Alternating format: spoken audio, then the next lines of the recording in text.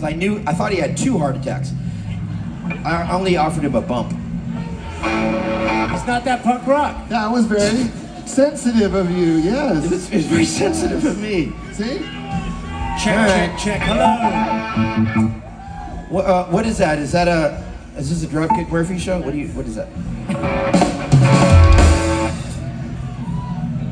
Anyway, this is uh, our sixth last show.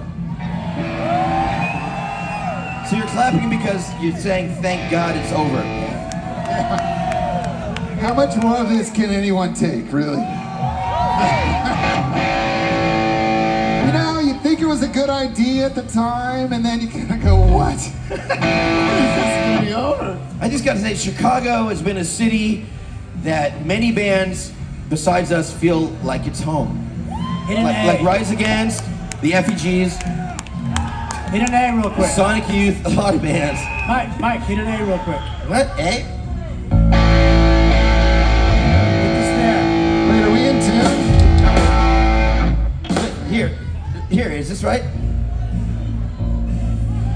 Okay, we're gonna do a song that no one really knows or likes. That's how we're starting this. Yes, we are. Yes! Thank you all for being here. Now get ready for a big disappointment.